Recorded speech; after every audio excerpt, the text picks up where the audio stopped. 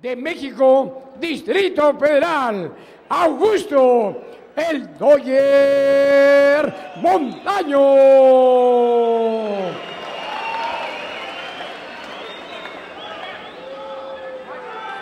El 1.90 de estatura, y yo creo que en presencia son grandes peleadores dentro de lo que es el peso medio, una categoría donde ambos están pesando 85-600 en el caso de Mike Lemer con Riverside Submission, dos eh, peleas, cero derrotas, y Augusto Montaño de los Bone Breakers 8 victorias, 0 derrotas, con 85 kilos, 100 gramos de peso.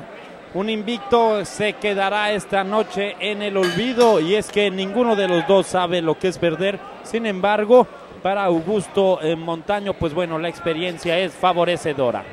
El Doyer es uno de los hombres que más orgullo por México tienen. Dentro de sus rivales de las ocho peleas invictas, siete han sido con peleadores extranjeros y esta podría ser la octava si es que este muchacho, Mike nos dice otra cosa. Así es, Arturo, y bueno, pues un intercambio rápido de golpes, eh, con las piernas también tratando de hacerse daño. Me parece que una potencia la que tiene Montaño impresionante, que como lo dices, es un hombre eh, nacionalista, por llamarlo de alguna manera, ya que dice no va a permitir que ningún extranjero se lleve un resultado positivo de tierras mexicanas. Dodger llegó y empezó a trabajar fuertemente y llevó prácticamente de esquina a esquina, rastrándolo con lo que es la cuerda de la soga superior en la espalda de Lemer para que usted pueda ver y apreciar la potencia de lo que se vive en ese cuadrilátero sagrado de Max Fight. Por lo pronto el Dodger, bien lo comentaba Ricardo, es un estilo en piso, que es lo que mejor le conviene. En la esquina de Lemer le piden que tenga calma y que busque de alguna manera encontrar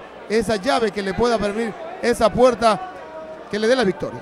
Sí, eh, Mar, eh, bueno, pues está en este momento eh, tratando de alguna manera de evitar la monta completa y de eh, acomodarse para poder hacer alguna llave que pudiera llevar la victoria a su esquina, la esquina roja. Emer con una cintura muy fuerte que abre el dueso, pero Montaño vuelve a entrar el Doyer de una manera fuerte cruzando al rival y buscando entrar con los martillos. Sin embargo, las piernas lo separan. El Doyer está eh, tratando de calmarse, lo que mejor debe hacer. Vaya golpe que recibe. ¿Qué clase de golpe está conectando el Dodger Montaño y es que bueno pues fue eh, arrollador fue impresionante cómo su puño se, impactaba en el rostro del rival. Con el respeto que me merece el Dodger por el trabajo que hace, es un animal salvaje cuando sube el cuadrilátero, caza a su rival y busca la manera precisa de hacerle daño. Mike Lemer en este momento está desconcertado, pero sigue recibiendo castigo. Entran strikes derechas, izquierdas y martillos que le están causando daño al Dodger. Ojalá no se desespere. Nuevamente vuelve a entrar y la gallera se enciende aquí en decidir.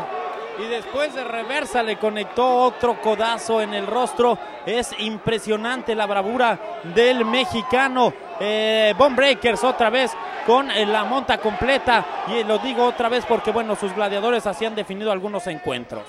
Referee llama la atención por la manera que estaba obligando a la defensa. El Dodger intentaba meter el codo, no pudo. Y Lemer no tiene más que arquear el cuerpo para poder salir. El Dodger es quien mejor maneja y puede aplicar aquí una llave de brazo que se está cocinando de manera increíble, Ricardo. Esto puede acabar pronto. Está tratando de zafarse eh, Mike, sin embargo, va a ser muy difícil. Lo tiene en posición, se ha rendido. Impresionante el coraje de Augusto Montaño. La bravura del mexicano ha quedado demostrada de nueva cuenta. Y únicamente, señoras y señores, en la bravura y el coraje se demuestra cuando hay combate. El Doyer Montaño saca el orgullo mexicano y derrota en este encuentro al francés Mike Lemer, que mostró coraje, mostró corazón. Sin embargo, el empuje de este alumno del Bone Breakers, Raúl El Salas, quien está en el cuadrilátero.